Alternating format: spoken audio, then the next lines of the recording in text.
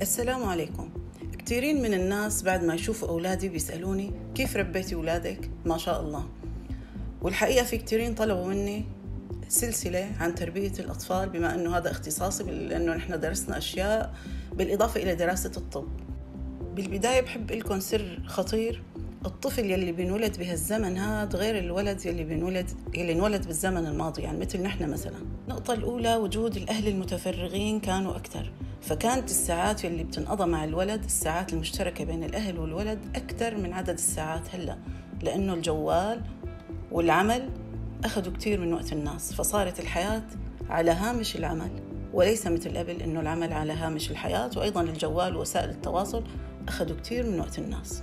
النقطة الثانية انحسار دور الأقارب الجد والجدة الأخوال الخالات الأعمام العمات. هدول كانوا يلعبوا دور كبير في تربية الطفل. كانوا الأجداد يحكوا له الحكاية ويستفيد منها خبرة ويستفيد منها رؤية عن الماضي والمستقبل. وكانوا الأقارب يبونوا على أولاد بعضهم. هالدور هذا عم ينحسر كل ماله ورح يجي يوم ما يمون فيه الإنسان غير على نفسه.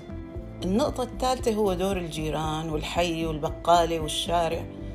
نحن كنا ننعت أولاد الشارع إنه هي صفة سلبية.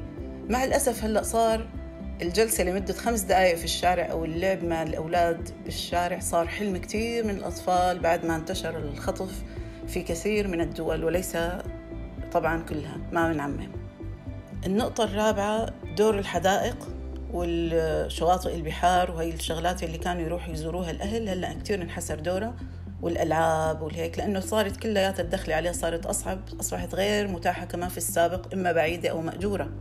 ومع الأسف تم استبدال الطاقة الطبيعية اللي بتجي من السماء والأرض والأشجار والبحر والرمل والتراب بطاقات سلبية عم تأثر على الطفل سلبا. النقطة الخامسة المدارس والمدرسين.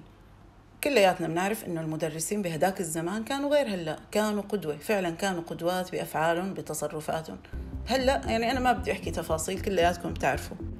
باختصار كل ما حول الطفل كان يتعلم منه أشياء ما بقلكم كلياتها إيجابية بعضها إيجابي والبعض منها سلبي ولكن قد حرم منها كلها كما حرم الأطفال من تفاعلهم مع بعض ولعبهم والاجتماع يوم الجمعة ويوم الأعياد في بيت الجد وفي الحدائق العامة وفي المنتزهات وأماكن اللعب كثير من الأطفال انحرموا منها اليوم الآن بسبب كل ذلك هل عرفتم لماذا تضاعف العبء والدور على الأهل اليوم؟ كل ذلك كوم وكوم تاني هو اللص الذي يدخل كل بيت. أكيد أنتم عرفتوه يدخل كل بيت دون استئذان ويعطي الطفل معلومات. مع الأسف يسلبهم براءتهم لأنه عم يعطيهم معلومات قبل الأوان. يا جماعة الطفل مثل الوردة تماما. الوردة بحاجة إلى عناية ورعاية ولكن دون أن نكبتها ودون أن نحرمها من الحرية.